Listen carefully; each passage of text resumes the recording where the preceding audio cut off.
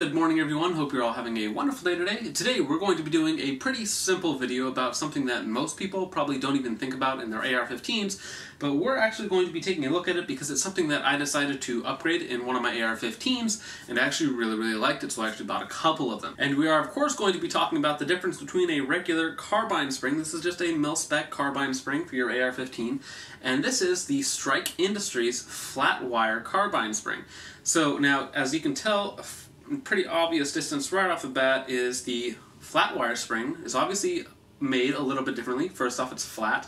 It's also about two inches longer, which gives it a little bit different compression, a different spring rate, if you will, which is going to change your cyclic rate. And in my opinion, because it has that extra tension on the beginning of the, the bolt carrier, so right off the bat it's going to have a little bit more tension.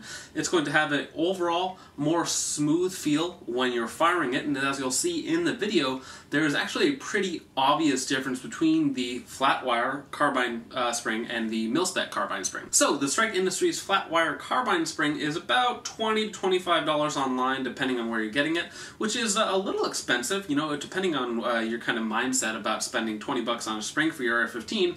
Um, but if you're at the level where you really like everything about your AR-15 and you're just looking to maybe upgrade it in a different way, maybe make it a little bit more smooth, uh, maybe have a little bit nicer recoil impulse, but you don't want to spend $80 on a JP Enterprises um, silent spring system or a KynSHOT uh, or anything like that, that's going to be, you know, over $100 or close to $100 anyways. This guy here for 20 bucks is not a bad option. So that's about all I need to say right now. Now we're going to go ahead and look at the actual footage and uh, it'll be pretty obvious to tell which one is which actually. I didn't think that it would be that big of a deal or, if, or it would actually make that big of a difference, but you can actually tell the difference on screen. Both guns that I'm shooting, uh, it's two different lowers, one that has the mil-spec uh, carbine spring in it and one that has the uh, Strike Industries flat wire spring in it, of course. Um, now, the same upper, the same upper, it's my 16-inch upper, it had a compensator on it. I did some shooting with a compensator, some shooting without a compensator, and then with the different uh, lowers on it, of course, that had the different springs um, just to kind of see what the difference is. Now, the lowers are slightly different. One's a polymer lower, but it has a really thick aluminum end plate on it, so they're about the same weight. They are a little bit different length of pull, so it's not 100% apples to apples, but they're about the same weight. And but what you what you really want to be paying attention to is how does the rifle itself recoil, and you can actually see that in the video with some of the slow-mo shots and some of the regular shots that the Strike Industries flat wire spring provides a much more consistent feel, and because of its higher quality and different cyclic rate, um, it actually makes for a much nicer shooting experience, or maybe not a much nicer shooting experience, but you will certainly notice it as I did. So without any further ado, let's go ahead and watch that now.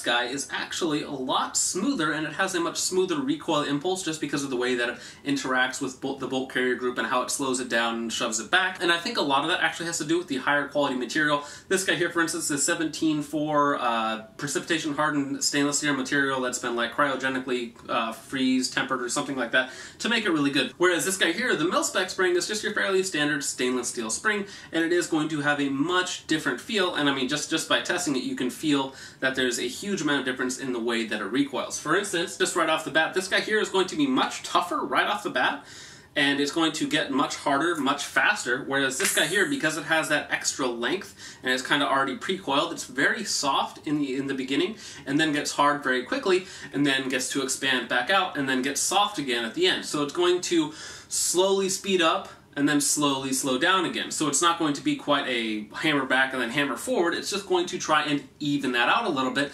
which again, a bolt carry group is one of the heavier components in your gun and is what causes most of the recoil. So if you can slow that down a little bit, not necessarily slowing down the cyclic rate of the gun, but slow down, make it a little bit more smooth, you are going to have a smoother shooting experience overall. Now, if you handed this gun one with a uh, Strike Industries flat wire spring, and one with just a mil-spec spring to someone who hasn't really practiced that much or wasn't really familiar with that rifle, could they tell Probably not. Uh, even in a side-by-side comparison, they might know that something's a little bit different. They might pick up on that a little bit. But if you're someone who's very familiar with the way that your specific rifle shoots, for instance, on that rifle and that upper, I put around 2,000 rounds to it, so I'm very familiar with how it shoots, even with a different compensator on it.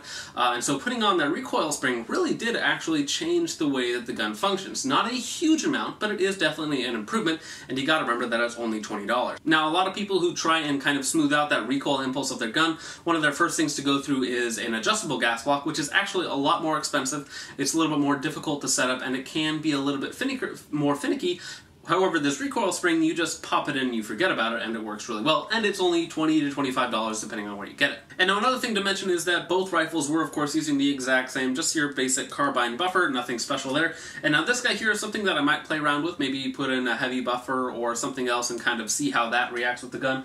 Maybe I'll make another video about that later on. But for right now, um, I really do like the Strike Industry spring, and I think that that's why I actually did end up buying a couple and putting them in a couple of my guns, because they work really really, really well for only being about 20 to $25. They're incredibly simple to set up, and there's not a lot of reason not to have one. I mean, because again, they're very cheap and very easy to set up, and they do improve the recoil impulse of your gun just a little bit, and enough to notice, which is really nice. So if you're someone who wants to improve the way that your gun shoots a little bit and makes it a little bit more smooth, but you don't have all that much time or money to sink into it, to play with it, and to find out what really works for you, um, the Strike Industries flat wire spring is really easy to install, it's very cheap, and it's pretty pretty effective for what it is.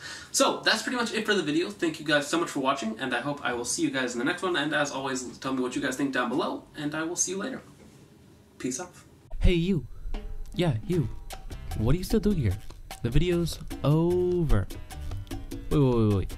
Why are you still here? Like, share, and subscribe. Or don't. The choice is yours. But if you do subscribe, thanks. And I like pizza. Peace off.